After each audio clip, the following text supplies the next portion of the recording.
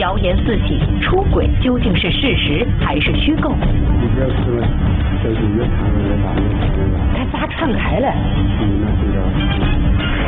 各执一词，面对猜疑，他就消极面对。来来来，我问你一点啊，咋了？我问你点事儿，宝贝。各方求证，谣言的伤害最终能否消散？我现在不能叫俺小孩呀。再再再找一个是吧？百姓调解，姚赞的家正在为您讲述。你爸爸在你心目中是一个啥样的人？高大。嗯。他对你好不好？无私为我奉献。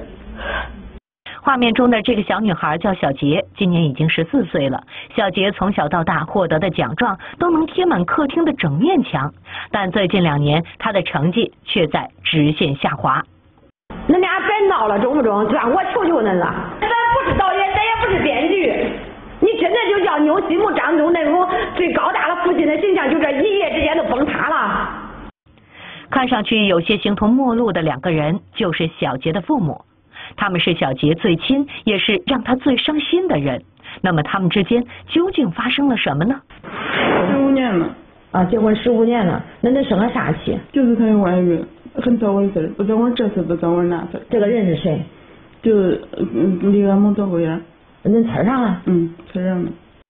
关于丈夫出轨的事情，桂霞说她是从邻居们的议论中得知的。之后，她也发现了一些蛛丝马迹。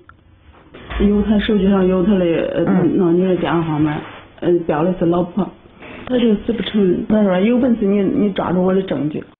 除此之外，慧霞确实没有更多的证据来证明丈夫出轨的事实，但这件事儿在街坊们口中被传的越来越严重了。他那一天去他的电车搁他家里，人家在里屋里。那娘还给你传的啥呀？人家说的多了，你问俺妈，俺妈都说。慧霞告诉调解员，丈夫出轨的事情，婆婆张老太也了解得一清二楚。咦，他俩不也一二年了，他俩是？一二年出来，他俩诺一二年。一二年也不搭腔，也不也不弄那。哎。看得出来，儿子儿媳的不和睦，使得张老太也很是无奈。而对于儿子出轨的事情，张老太说，街坊们也确实传的有模有样。出轨的，俺这就是有个寡妇，你说没？你逮住他了没有？谁逮住了？没逮住。小强到底有没有这样做？是不是这样的一个人？那那你自己？他不会那样，他就是先憋着这脾气。你说恁孩儿没出轨是吧？没出轨，不知道。张老太相信儿子是被冤枉的，但听婆婆这么说，一旁的慧霞不愿意了。你咋说没出轨啊？出轨，反反正是呃以和睦家啊，以和睦家就。人家都说他在家在他家住住了一百天。见张老太有些维护自己的儿子，慧霞便拿出了她怀疑丈夫的有力证据。这不是我给魏永泰给我咬的伤？咦，这咬真狠呐！这是咋回事？我打我的，你要没关系，没关系。他出现这事，他作为丈夫，他是不是应该站出来？慧霞认为，如果丈夫是清白的，就应该在她受到伤害时站出来替她出头。但事实上，丈夫竟然还为第三者打了自己。听慧霞这样说，一直站在外面的丈夫德强质问起了妻子：“你是凭啥领领着那人去去开了，去堵了？”没开，我也没堵你，我找的是电车，电车就是在他家里？他去人家家，你你这说啥？去人家家，他说找他家的狗嘞，一一家人去撬撬人家家花。德强说，妻子慧霞就是无理取闹，所以他被打也是咎由自取。我出去，我去验证了。啊啊。他跑到人家家，他那一窝，他叔，嗯嗯，他兄弟，掐了掐了人家遭他说我跟你说堵堵我。德强认为，慧霞在没有事实证据的情况下，私自闯入别人家去堵自己，甚至为此还报了警，在村子里闹得是沸沸扬扬，这让他颜面无存，所以一气之下就打了慧霞。但这时，慧霞表示这件事儿并非无中生有。那个车给俺家了几个月了，然后给他家，俺是仇人，你问他，俺是仇人。要是正常的情况下，他不可能送到他家。那一天他就在他家里。俺俺爸俺俩搁那蹲了一晚上，这么冷的那一晚上，我亲眼看见他去他家里，骑着电车，然后他他藏起来了。慧霞表示，他们那天虽然始终没有见到丈夫德强本人，但她确认德强就是在对方家里。究竟谁说的才是事实呢？当时在哪儿？我给验证，那还喝喝多了，当时十点多。你旁边有人能证明你在哪儿了不成？证明证明不了。那你为啥要去延陵，跑到延陵去啊？强？俺那孩子开不是开安证的嘛？啊啊。开到十点多，俺喝了酒，俺去延陵玩去。对于德强的解释，慧霞并不认同。他根本都没去验灵。嗯。他是撒谎的。他说有本事你你抓住我的证据，我确定他在他家里，我想报警。嗯嗯。夫妻两人各执一词，为了证明事实的真相，调解员提出了一个建议：给你的伙计打个电话，这不是最起码说人家能证明你天天。我不想，我不想。牵扯这么些人，你知道吧？那不是，这是唯一能洗清你这你你的这个说是能说清楚的。这不想闹，这人家都着，我这马不了了了。德强并不愿意当面为自己澄清，他这样做究竟是碍于面子，还是故意隐瞒事实呢？接下来，调解员又向他提出了一个问题：那你跟这个女的，恁俩中间来往过不来往？哦。没出轨，那恁村上那么多人，他为啥不找张三，不找李四，偏偏找到那个人家里？你他找了几回事了都，他又听我说，听我说，听人家说的。就是那马上风言风语传的是吧？嗯，他听朋友的。那为啥这个风言风语是从哪传出来的？他总要有个源头吧？在门上的人弄啥？人家跟我跟谁说一会儿，他就说这说。嗯嗯。德强并不承认自己出轨了，他认为妻子只是听信了别人的谣言。而对于被怀疑的对象，德强说那只是他在为去世的发小出一份力所能及的帮助而已。那男的是一般的，就说他家有个啥活，你说他某某男的谁去谁，俺是一般的。你说有有个啥事那一年有个啥事人家谁也没个事了。嗯嗯。人家不说，我还想我想不对。听德强这样说，一旁的妻子再一次提出了质疑。你手机上老婆给给解释解释。你手机敢拿出来要看看不敢？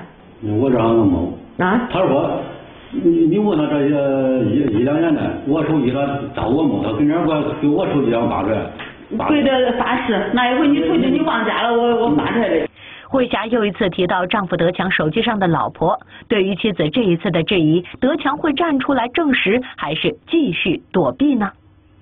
那能不能叫姐看一下？我不会玩这手机。啊，你打开要看看有没有这个号。开这儿不怕有心，就怕有之外，看吧。在调解员的一再劝说下，犹豫不决的德强终于在毫无准备的情况下，把手机交给了调解员。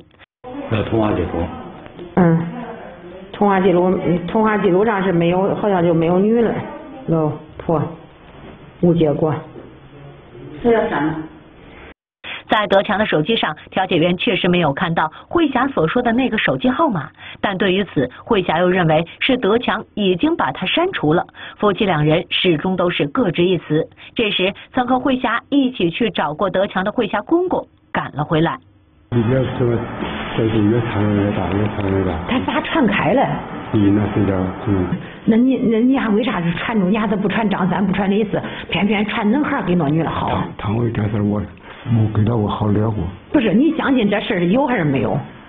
他有没？我那你这事有是相中有上心里面上也有说劲儿。看得出来，德强的父亲对儿子出轨的事情也是半信半疑。那么，德强的谣言究竟是子虚乌有，还是另有隐情？调解员决定去村里找出真相。我来给德强调解矛盾呢。德强的老婆非得说出轨了，跟恁村上那个老好，恁都听说了没有啊？不是，你看他就说了，村上人都传的风言风语，恁都听说了，都听说。对于调解员提出的问题，邻居们都默不作声。就在这时，我们突然得知德强的谣言对象就在村民当中。来来来，我问你一件啊，来，来，你瞅中一点事儿，说呗。当面对质，他竟频频与人争执。我我看到我都生气，我说的，我看到你。我看也生气，看见你这个事表明态度，他又为何如此决绝？咱做不了，啥样的独立？除非你心里装着别的女人。谁含泪相劝，摇散的爱最终能否重来？我也妈闹了。你用他是真当人。咱别让人家看咱笑话，中不中强？百姓调解，姚赞的家正在为您讲述。刚刚我们讲到，调解员在人群中突然发现了德强的谣言对象小华，调解员就向他表明了来意，小华也表示愿意一块儿把谣言这事儿给说清楚。说的可多，我跟你说，俺主要是你也不知道，俺这样农村嘛都是这样，他天天都怀疑怀疑我怀疑我，那那不是俺身后老头都跟枪不跟枪没人样啊，不是？我跟你说传的多了，我跟你说，传的多了，就他厉害，搁俺这，我跟你说，他就是厉害。小华说，自从丈夫去世之后，关于她的流言蜚语在村子里就没有消停过。但她和德强的谣言之所以被闹得沸沸扬扬，就是慧霞的个人原因。那么，慧霞一直怀疑丈夫德强那天下午在她家里的事情，小华又会如何解释呢？那天他晚上去恁家是咋回事？我啥时候去俺家了？他报警，他说是他的电车丢了，他的电车丢了是我偷的电车。嗯嗯，那他那个电车，你到究竟是谁的电车？小偷的电车，人家都骑回去了。呃，是你借人家了是吧？哎，跟他老公就是半毛钱关系都没有。你去问问人家，你去问那个那开电车的。小华仍然坚持她和德强没有任何关系。对于他的说法，调解员还有些疑惑。既然如此，他又为什么会和慧霞打了起来呢？骂我了，他骂我，他没人就我自己，他他骂我了，打了一回阵，不要脸，他说那你咋确定他是骂你？他说他没起名。他找着我，哎，就在俺这儿骂不要脸，或者这他这儿找着我骂，面对面，哎，面对面。对于小华的说法，慧霞又反驳了起来。在这我跟这儿的，为啥不能跟那儿的？你是不是跟这儿的？你是不是跟这儿的？我就跟这，我就跟他这，咱跟这儿的，我跟这儿的，坏良心，别吵了，别吵，是不是你跟这儿的？哎，是不是你跟这儿的？慧霞和小华因为打架那天的站位问题争执的不可开交。调解员认为，这个时候争执这些细节已经没有任何意义。可调解员还没有开口，小华就转身要走。要非要我给他丢人呢，我跟你说，丢人，直接丢人，丢人呢，哎呦，老铁真丢人，老铁真丢人。我回家我跟你说，你别给我说这些，我看见你我就生气。见小华怒气冲冲地离开了，调解员又赶忙追了上去。俺家我跟你说，俺家就就就俺孩儿、俺女儿、俺仨。那你这个风言风语这啥传出来了？那他俩全瞎胡说吧，成天。我都说的，我我看着我都生气，我跟你说，我说那些，我看着这些我就生气。那他为啥生气？我看你也生气。他这是也不生气。德强父亲的出现又一次激怒了小华，争执了几句之后，小华就头也不回的离开了调解现场。对着离去的小华，调解员再一次确认了一个问题。那你说你确实清白了，是不是？哎，好了，谁谁要是谁要是跟他好了，你能请就请去查了，查着我住监楼。从小华的话语中，调解员感觉到他和德华的谣言可能真的是子虚乌有。调解员认为，既然谣言是从村民们口中传出的，就让村民们帮忙把它击散。你好好好好的吧，啥事都不好说，人是真这一样。你看看那个，不是那信不信？这有点事谁相信呐？都不相信。那信不信啊？不是，你看，这你看他俩他家马上要零散了，咱也说说。看来面对镜头，村民们还是不愿意多说什么。无奈之下，调解员来到了慧霞面前。真真假假，假假真真，有些时候呢，人呢人多嘴杂，他假的也会说成真的。那没啥，人就是那样，反正是真的也是真的，假的也是给你也是给你真的，是吧？他就是给你瞎胡说。你回去吧，回去给他说说好话。真的就就凭我的感觉，这绝对都是谣言。在调解员的劝说下，慧霞和调解员一起回到了家里，来到了丈夫德强面前。你现在你说的是他出轨了，他说他没出轨，其实出轨不出轨已经不重要了，重要的是恁俩的心还不想不想在一块儿过，恁俩想不想为孩子把这个家撑起来？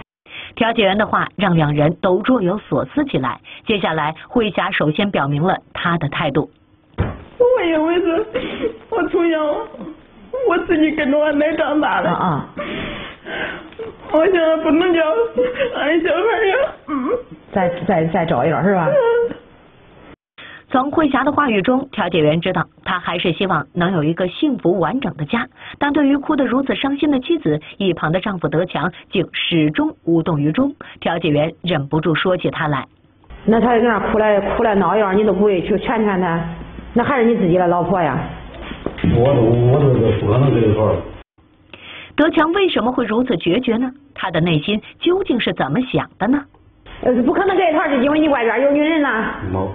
啥样的法才能够说了把这个谣言制止？就是恁夫妻俩好好过日子，恁一家人幸幸福福了。这过不了，过不了。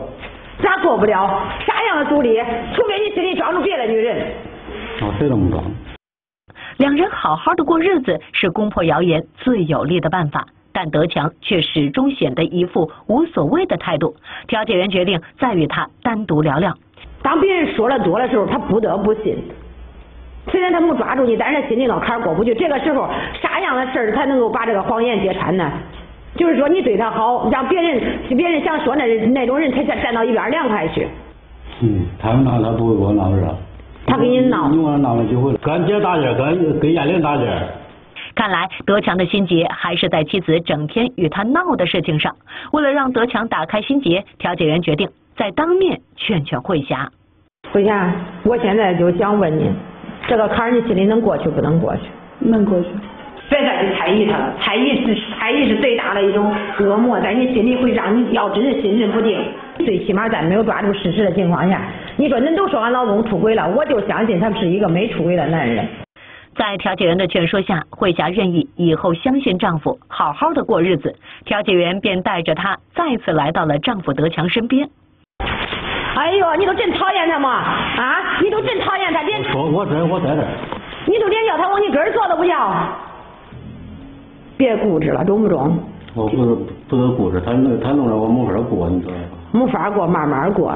嗯，过不了，这儿都过还不成，还不成成着。无论调解员如何劝说，德强都坚持要离婚。这时，刚刚放学的大女儿小杰哭着来到了父亲德强的身边。